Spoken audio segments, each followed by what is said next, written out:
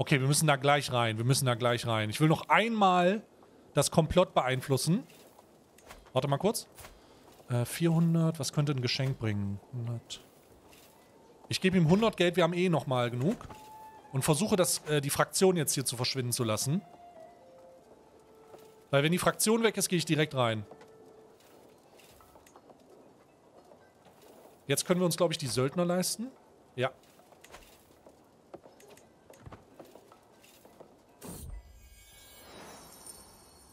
Oh mein Gott, was?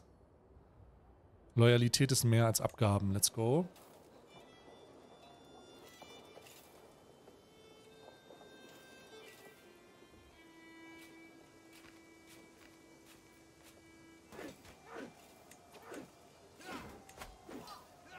Okay, Alter, Norwegen fährt in ihn rein. Das ist jetzt gleich sehr, sehr schlecht für ihn. Wenn diese dumme Fraktion jetzt endlich mal verschwindet. Sind die verbündet? Nee. Komm jetzt. Komm, jetzt muss die Fraktion weg sein. Ja, ja, da ist sie, da ist sie, da ist sie. Wichtig. Wichtig und richtig. So, jetzt haben wir ihn. Und jetzt können wir ihm alle Titel aberkennen. Titel aberkennen. Alles. Alles, was er gerade erobert hat, will ich ihm jetzt aberkennen lassen. Äh, ich gucke noch mal kurz nach den Söldnern. Habe ich. Sehr gut. Perfektes Timing. Und damit ist der Krieg hier oben, er ist in den Konflikt verwickelt und wir holen uns den Rest auch noch. Aberkennen, alles feuerfrei. So, und jetzt werden wir gleich Krieg haben. Ich will keinen Krieg mit Norwegen, mir ist das egal. So. So, wir haben Oh, wir haben zwei Gegner. Okay, kriegen wir das hin? Das sollten wir hinkriegen. Weit unterlegen. Okay, okay, okay. Sammelt die Truppen. Hat er Geld? Der hat Geld. Hm, hm, hm.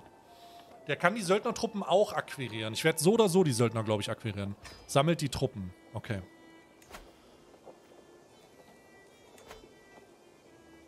So, ich hebe das mal hier aus.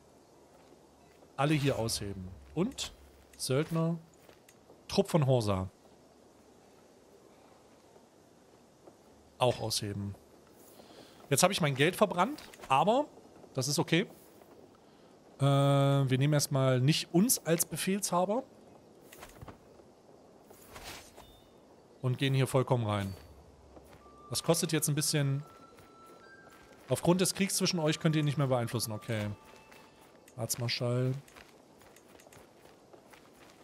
Wir nehmen erstmal unseren Halbbruder und den Höfling hier.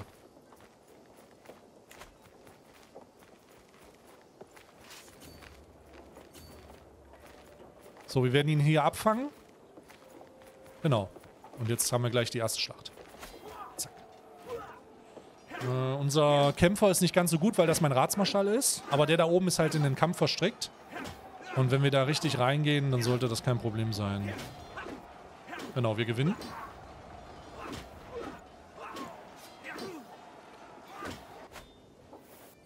So, und jetzt holen wir uns das hier unten.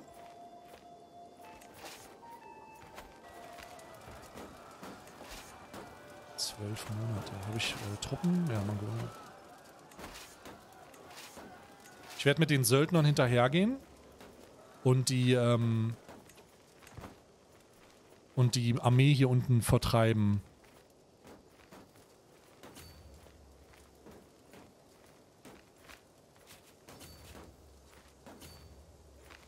Ja, ich gehe mal hinterher. Der hat nur noch 93 Ritter.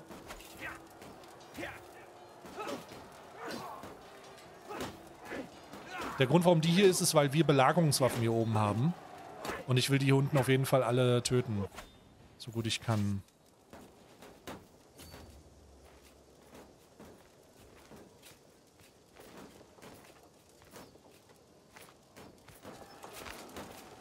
Okay, er läuft jetzt direkt in meine Belagerung rein. Ich glaube nicht, dass er kämpfen kann direkt.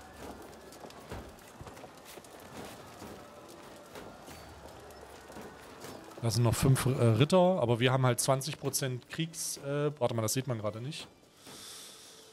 Äh. Ich pack mich mal hier unten hin. So, das ist jetzt weg. Hier oben ist seine Armee. Ich äh, heile mich mal hier kurz.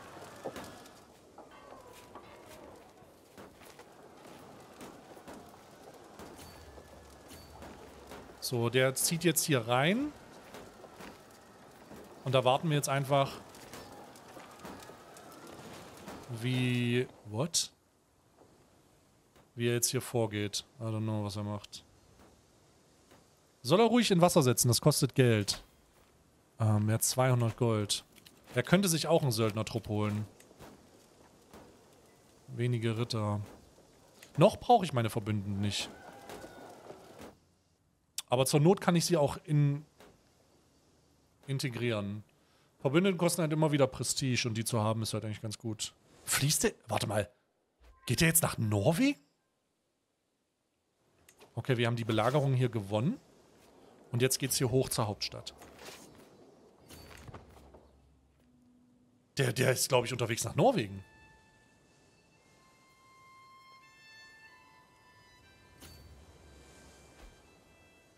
Ziemlich sicher. Dass der auf, unterwegs ist nach Norwegen.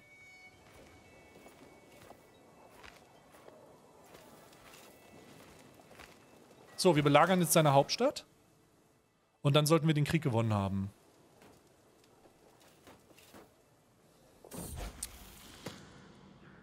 Mitfühlen, das ist gut. Äh, arrogant, Gefühl. Gefühllos ist, glaube ich, sogar noch besser. Warte mal, was, was ist denn der? Ah, nee, der ist Diplomat. Mitfühlend als Diplomat ist, glaube ich, ganz gut. Ja. Ja, ja. Machen wir mitfühlend.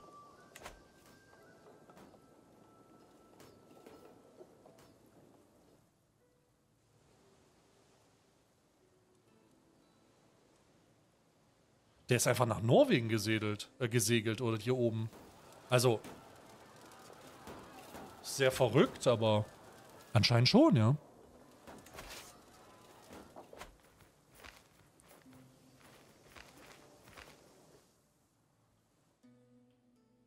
Der ist hier oben irgendwo, glaube ich. Der nimmt, das, der nimmt die Hauptstadt Norwegens ein.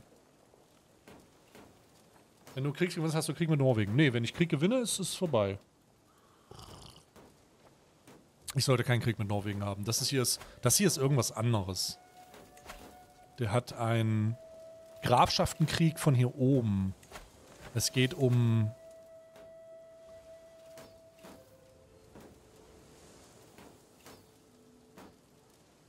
Ich weiß gar nicht, das ist irgendwas hier oben. Der will hier oben irgendwas haben. Und ich glaube, Norwegen ist auch gerade nicht so stark. Norwegen ist gerade sehr wack. Also alles gut.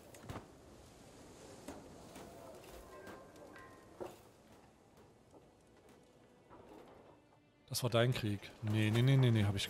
Nee, nee, nee. Hab ich gerade schon geguckt? Ich hab doch geschaut nach. Der hier. Nee, hä? Ach so, das war sein. Ah, ja, ja, ja. Okay, ihr habt recht. Ähm. Er hat den hier. Da hat irgendeine Grafschaft, will der. Wahrscheinlich die hier oben von Norwegen haben. Und das werde ich danach machen. Also ich werde Norwegen da danach angreifen. Ich denke nicht, dass Norwegen gerade die Kapazitäten hat, irgendwas zu tun. Die haben zwar Verbündete, aber die sind halt alle wack.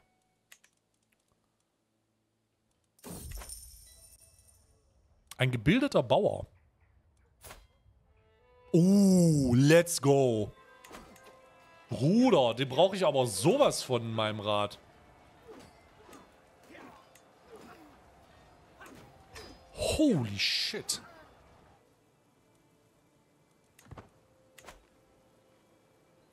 So, wir haben fast gewonnen. Da ist jetzt hier äh, noch die letzte Schlacht. Da gehen wir hier oben mal rein. Okay, nice. Ja, der wird jetzt getroffen, glaube ich. Nee, nicht ganz. Oh, das ist jetzt nicht sein Ernst hier, dieser Run-Scheiß.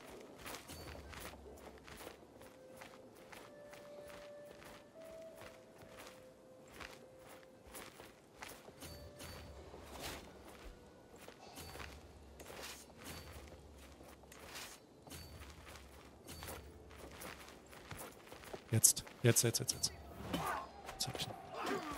Manchmal ein bisschen tricky, dieses Weglaufen. So, ich habe noch...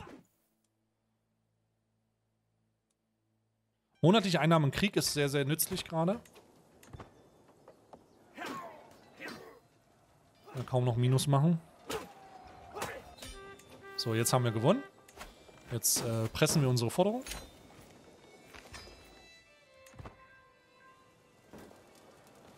Und was haben wir denn jetzt hier oben? So, was ist denn jetzt hier die Situation?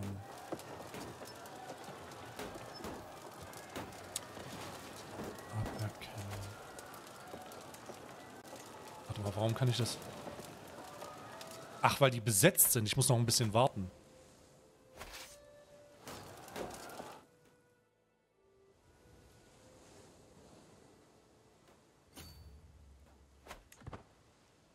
Kann ich ihn jetzt dabei unterstützen?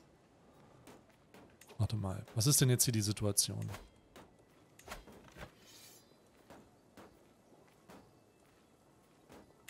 Ähm. Der holt sich das ja gerade zurück.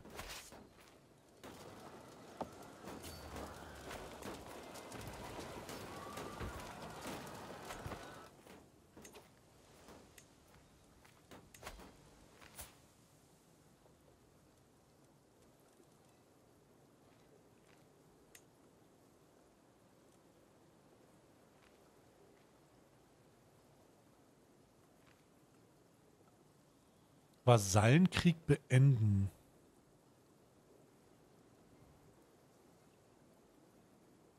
Ha.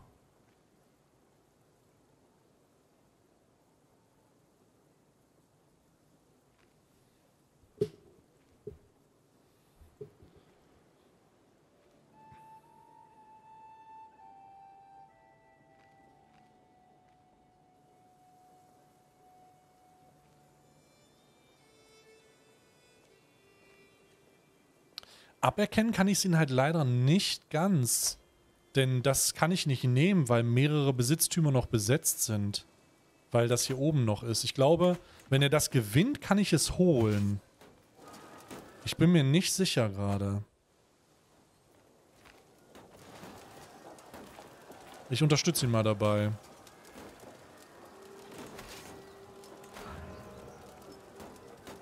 Das kann ich zwar nicht, aber Ich warte mal kurz ab. Weil wenn er den Krieg hier oben fertig hat, ob ich die, sobald er das hat, ob ich ihn, ob ich das abnehmen kann. Um genau zu sein. Jetzt. Stopp. So, warte mal. Jetzt kann ich es abnehmen. So, jetzt habe ich alles. Links ab.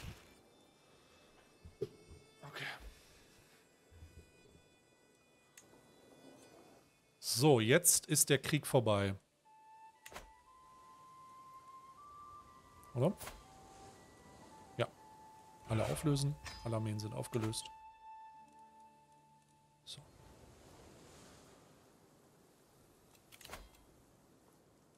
Hier will jemand aus dem Kerker freikommen.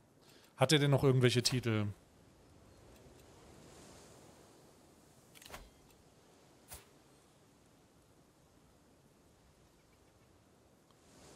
Der hat nur... Ah, der will aus dem Kerker freikommen, weil er mich angegriffen hat. Und auch dem nehme ich das ab. Warte mal kurz. Warte mal kurz. Es gibt doch diesen einen Typen, der seinen Scheiß verliert. Ähm, ich glaube, das ist nicht mehr so. Wo ist denn der Typ? Das sind alle meine Lehnsherren, ne? Also das Erbe.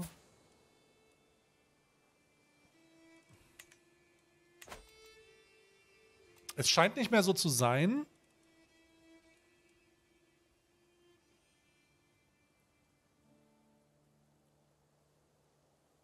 Ja, ja, ich will den, ich will den, ähm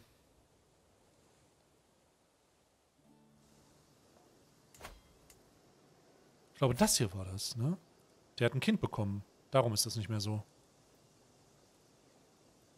Okay.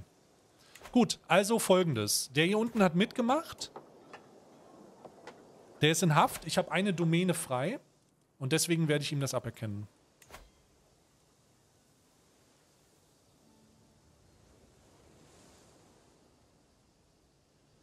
Weil dann kommt er nicht frei und hat nichts gemacht, sondern Im besten Fall kann der sich noch an meinem Hof irgendwie bewegen.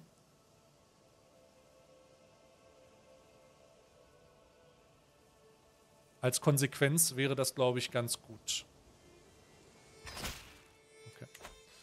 So, jetzt haben alle Intriganten bekommen, was sie verdienen. Nämlich mehr oder weniger aufs Maul. Und jetzt werde ich meinen Masal mal wieder hinzufügen. Und wie viel Kontrolle haben wir hier unten? 48, 60. Okay, wir müssen hier unten rein.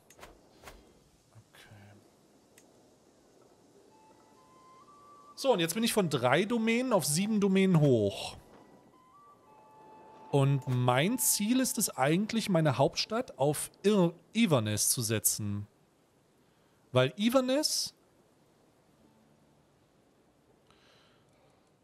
sehr viele Möglichkeiten für mich hat, Burgen zu bauen.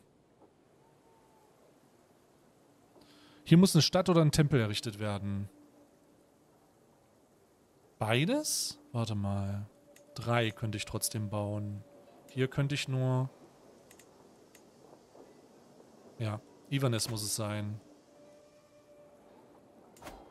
Also ich muss hier eine Stadt bauen und einen Tempel. Das Problem ist, ich kann halt kein, ich kann halt kein Inhaber einer Stadt sein und ich kann auch kein Inhaber einer, eines Tempels sein. Ähm, ich muss sozusagen jetzt.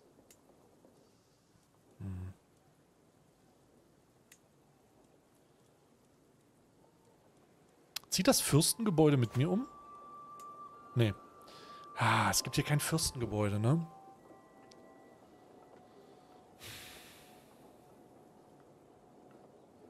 Also ich glaube, wenn es ums Geld geht, wenn man jetzt rein nach dem Geld fragt, macht Ivanis am meisten Sinn. Weil wenn du eine Stadt und einen Tempel hier reinsetzt, hast du immer noch zwei Burgen.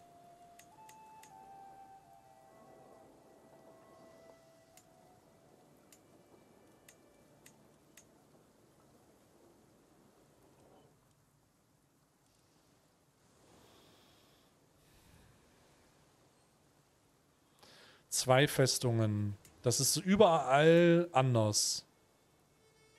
Hier wären es eine, aber da sind die Stadt und die, äh, der Tempel schon gebaut. Das könnte halt ein Vorteil sein. Ich könnte halt hier mehr oder weniger sofort rein.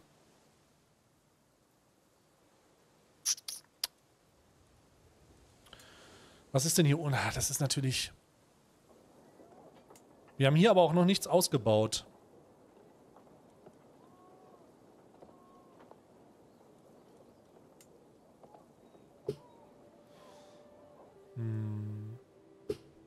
Ich glaube, ich ziehe um. Ich glaube, ich ziehe um. Was machst du wegen Kultur, Hybridkultur? Nee, ich bleibe schottisch. Es gibt ein unique Gebäude, das ist hier unten. Aber das ist, äh, das ist so schwierig. Das ist eine Universität. Da müssen wir mal gucken, wie wir das machen. Okay.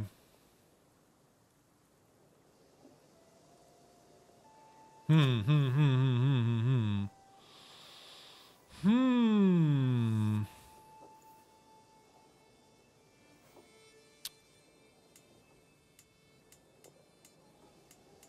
Also, vielleicht hatte jemand Erfahrung mit dem, mit einem schottischen Run, aber ich zum jetzigen Zeitpunkt glaube ich, dass Iverness für mich die beste Option ist,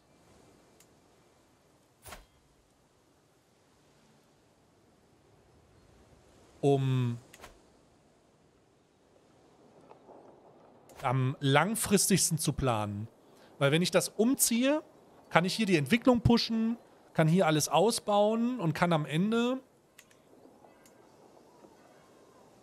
habe am Ende vielleicht kein Fürsten Fürsten äh, Building, aber zumindest eine Menge Gold.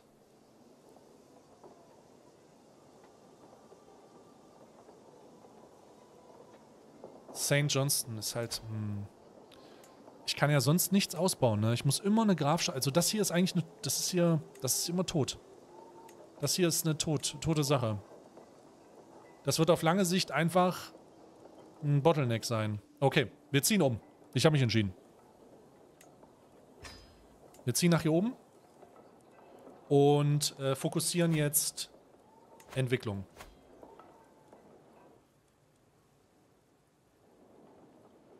Wir haben St. Johnson natürlich immer noch in unserem Besitz.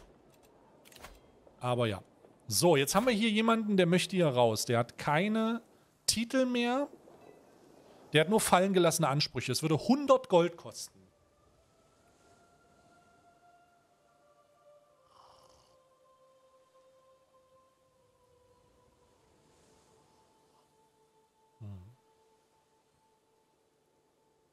Naja, das ist der, den ich gerade entzogen habe. Ich tendiere das anzunehmen. 100 Gold ist gerade sehr viel. So, wir haben gewonnen. Jetzt müssen wir mal gucken. Euer Sohn, dem muss ich jetzt einen neuen Vormund hinzufügen. Äh, ja, das kann ich direkt selber machen. Außer wir können unseren Ratsverwalter reinsetzen. Unseren Riesen übrigens.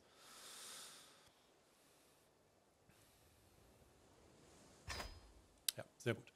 Äh, dann haben wir ein Lösegeld. Warte mal, was ist mit ihm? Hat der noch Ansprüche? Ja. Also der hat Ansprüche, aber der ist halt. Ich glaube, den lasse ich nicht frei, den lasse ich da drinnen versauern. 10 Gold ist es mir nicht wert, dass ich den freilasse und der eventuell Scheiße baut.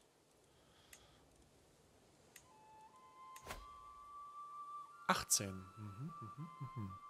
Gucken wir mal ganz kurz nach Vasallen. Das ist der hier oben. Der hat kaum Truppen.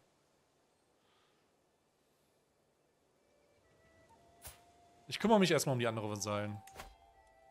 Schmiede hier mal einen Komplott. Also den zu befreunden. Und plane mein nächstes Fest.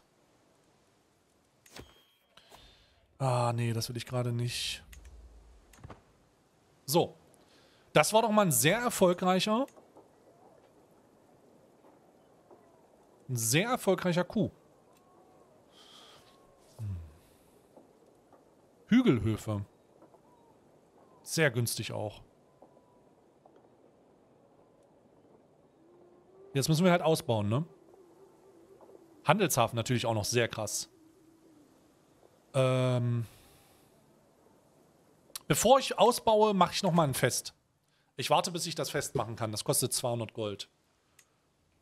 Weil dann kann ich die Vasallen definitiv befrieden, ohne dass hier irgendwelche Stressscheiße kommt. Weil hier kann immer mal eine Fraktion kommen, die sind alle noch nicht so happy. Außerdem habe ich genug Truppen. Ähm, das sollte okay sein. Mein Plan ist jetzt also, das weiter zu stabilisieren. Ich habe jetzt den Norden großenteils eingenommen, habe sieben von sieben Besitztümer, kann jetzt also eine Menge Geld farmen und muss jetzt mich darauf konzentrieren, äh, meine Vasallen zu stabilisieren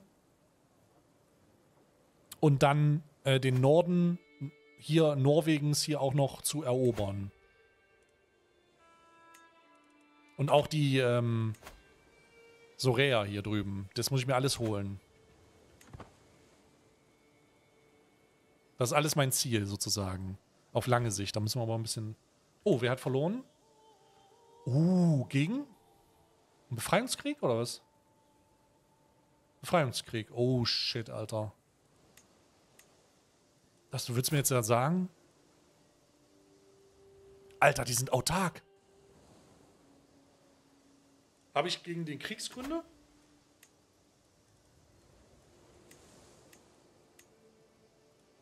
Nee, das ist doch der Lehnsherr, oder was habe ich mich gerade verguckt?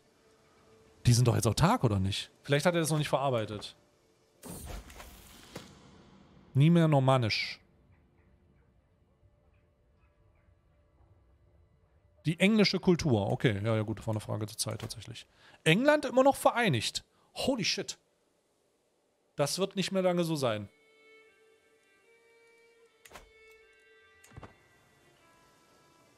Habe ich den Lehnsherr übersehen? Ah, tatsächlich. Hä? Der hat aber einen Befreiungskrieg gewonnen. Von was hat er sich bitte befreit?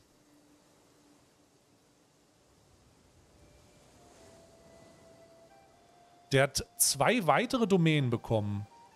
Ah, der hat das hier oben dazu bekommen wahrscheinlich. Oh mein Gott, das ist super schlecht für ihn, weil sein Lehnsherr hat 400 Truppen und sein Vasall hat 1400.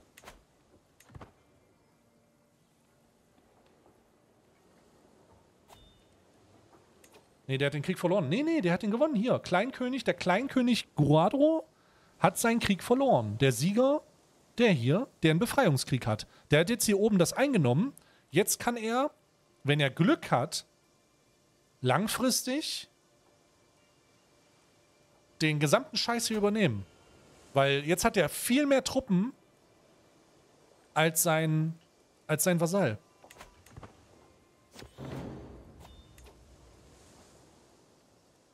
Oh.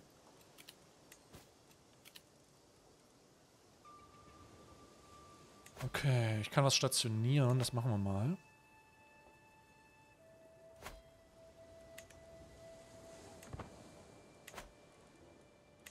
Okay, sehr gut, sehr gut.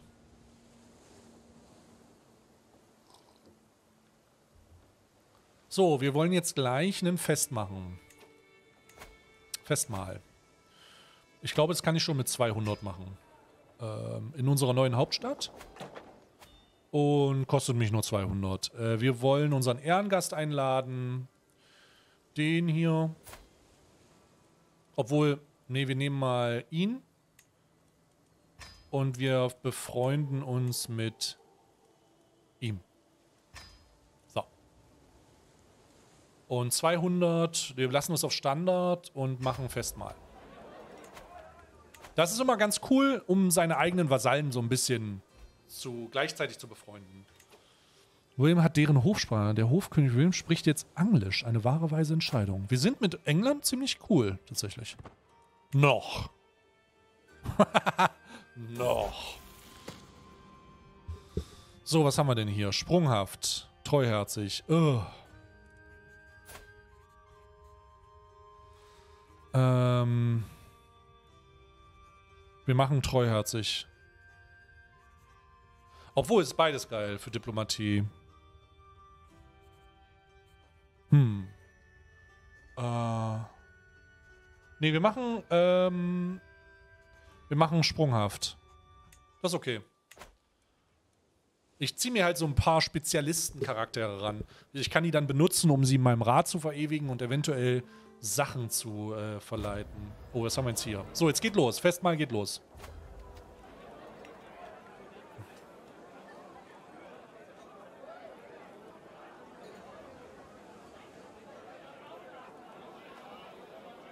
Mhm.